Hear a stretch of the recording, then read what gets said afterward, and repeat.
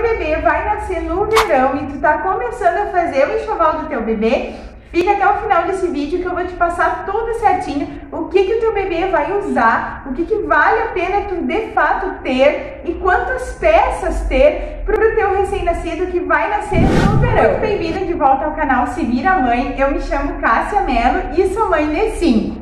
Eu também sou formada em técnico em enfermagem, mas agora eu trabalho só aqui com o canal no YouTube, trazendo vídeos para vocês sobre maternidade, renda extra e já te convido a se inscrever aqui no canal caso tu ainda não seja inscrita. Então bora pro conteúdo. O enxoval do bebê que nasce no inverno e o enxoval de bebê que nasce no verão são completamente diferentes. E é um erro muito comum a gente comprar um monte de coisas que às vezes o bebê nem chega a usar nem a metade do que a gente compra. E se tu é daquela mãe que está passando por dificuldades financeiras, também não tem tanto dinheiro para gastar no enxoval do bebê. Então tu precisa ser bem assertiva para poder usar da melhor maneira possível esse pouco valor que tu tem, certo? Então pega aí um papel, uma caneta e já vai anotando tudo que eu vou te passar. Então se o teu bebê vai nascer no verão, tu não precisa se preocupar em comprar várias mantinhas, várias cobertas, porque nesse primeiro momento o bebê não vai usar. E outra, essas mantinhas, essas cobertinhas, normalmente elas têm no máximo um metro de cada lado, né? É entre 75 centímetros a um metro. Então, nos primeiros três meses, o bebê cresce bastante, então tu não vai usar mais para frente. Então, não vale a pena ir tu comprar para o inverno, porque logo o teu bebê vai estar tá grande e esse tipo de mantinha para bebê, para recém-nascido, já não vai servir, tu não vai conseguir enrolar bem o bebê nesse tipo de cobertinha, de mantinha. Se tu tiver uma mantinha já é mais do que suficiente, porque tu vai usar mais é de noite, né? Ou se tu vai sair a um lugar que pega muito vento para cobrir o nenê ou algo assim. O ideal é que tu compre aquelas vira-mantilhas que são mais fininhas. Agora vamos falar da saída maternidade. Tem saídas maternidade de tricô, tem saída maternidade de plush, que é esse tecido mais apeluciado. Provavelmente o teu bebê não vai utilizar. Porque segundo os pediatras e a minha experiência de mãe de 5, os bebês têm a mesma temperatura que nós.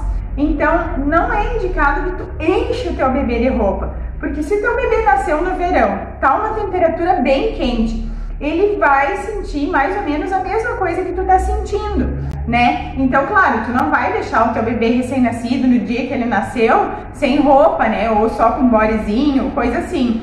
Tu vai usar aquelas saídas maternidades de malha, de suedine, que ela é mais fininha e já acompanha o vira-mantilha. O bom do enxoval do verão também é que tu gasta muito menos do que no enxoval do inverno.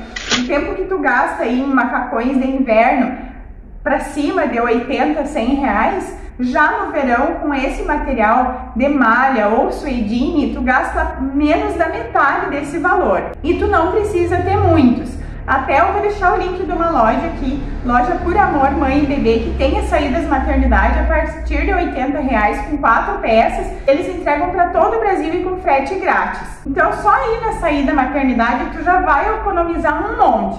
Porque uma saída maternidade normalmente ela custa mais de 150 reais e se for nessas de inverno, em plush ou em algum outro tipo de tecido como tricô, elas podem chegar até 300 reais. E já no, no verão tu não vai precisar gastar esse valor, né? Tendo em vista que o material é diferente. É claro que é bom tu ter um ou dois tip topzinho, tamanho recém-nascido, né? Ou tamanho P em plush, porque se porventura tiver um dia frio, chuvoso, né? Então é interessante que tu tenha no mínimo umas duas peças né, desse material, ou uma RN e uma P, né? E aí, conforme o teu bebê vai crescendo, conforme a necessidade do bebê vai aumentando, tu consegue comprar o tamanho adequado, porque esse é um erro bem comum no enxoval de bebê que a gente comete, né? Comprar várias peças RN, várias peças P, M, G, sendo que as estações mudam né? E o bebê, uns ficam muito gordinhos,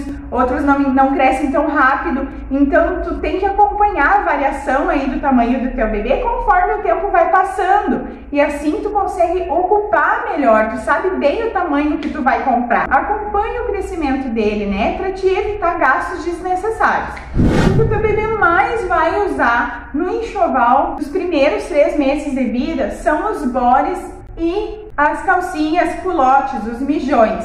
Né? Esses é o que mais o teu bebezinho vai usar. Eu também vou indicar um outro site aqui que tem peças a partir de 3 reais de camisetinha para o bebê e culotes em algodão. Ele é bem simples, mas assim, é bem útil, porque tu vai usar pouco tempo, então não precisa tu investir muita grana nisso, entende? Claro que se tu dispõe dessa grana e tu quer comprar, aí é outra história, né? O nome da loja se chama Loja Baratinha. Se eu achar o link da lojinha, também vou deixar ali embaixo. Peças bem baratas, super acessíveis, que vale muito a pena, tendo em vista que tu vai usar pouquíssimo tempo. A qualidade não é maravilhosa, né? Mas como tu vai utilizar pouco tempo, então tá valendo, né? Eu particularmente preferia usar as camisetinhas, as blusinhas de manga comprida, né? Eu não sou muito amiga dos bodies porque inicialmente, logo que os bebês nascem, como eles fazem muito cocô, normalmente passa no body, passa na, na roupa toda, então é bem complicado. Mas se tu gosta mais dos bodies, tenha compre, invista bastante nos bores e nas calças mijão. Né? Inclusive tem uns modelinhos muito bonitinhos, porque a gente quer né, fazer um enxoval bonito para o nosso bebê. E aí tu pode ter esses bem baratinhos para usar para o bebê dormir e tal, né? E comprar uns outros mais legais, mais bonitinhos. Também tem uma loja muito legal, eu não tô recebendo patrocínio de ninguém aqui.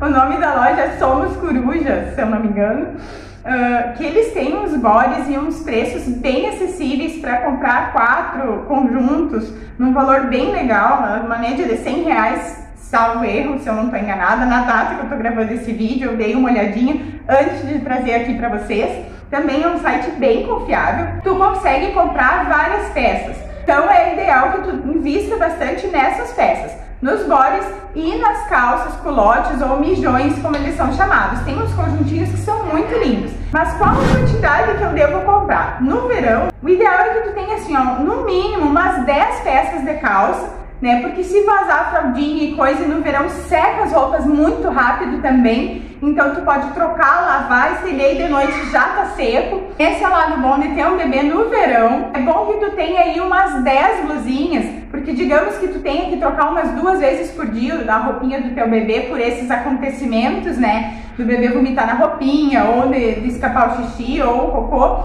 O ideal é que tu tenha no mínimo 10 peças, porque daí tu lava uma e tem a outra, lava uma e tem a outra. Se tu conseguir ter umas 10 de manga curta e umas 10 de manga comprida, também vai ser ótimo. E como eu disse, compra 5 do tamanho de recém-nascido e outras 5 no tamanho P. Outra dica bem valiosa, se tu for comprar em sites onde tu não consegue ver assim a roupinha, né? O bom é que tu compre uma quantidade pequena para te conseguir ver o tamanho da roupinha ali, né? Porque se é uma, um modelinho muito pequenininho e tu comprar uma RN que é muito pequena, tu vai usar muito pouco tempo. Ou talvez se o teu bebê for bem grande, tu nem use, né? Então não invista tanto em tamanho de recém-nascido. Pegue poucos tamanhos de recém-nascido e invista mais no P. Eu, as minhas, as minhas filhas, as meninas, usaram recém-nascido, tanto a fraldinha quanto as roupinhas RN, até quase os três meses. Elas usaram bem as roupinhas, deu para usar bastante,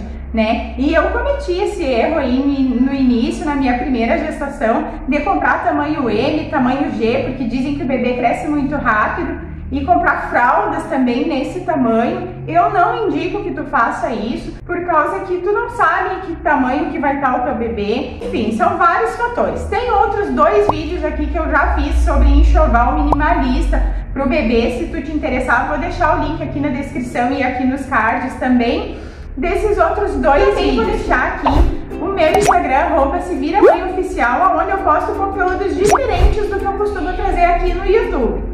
Segue a gente lá também. Eu espero muito ter te ajudado com essas dicas de enxoval de bebê no verão, que vai nascer no verão. Se tu gostou, não deixe de deixar o teu joinha aqui, que ajuda muito no crescimento do canal. E compartilhe com outras mães também, para dar essa mãozinha para elas, ajudar as mamães a economizarem no enxoval do bebê.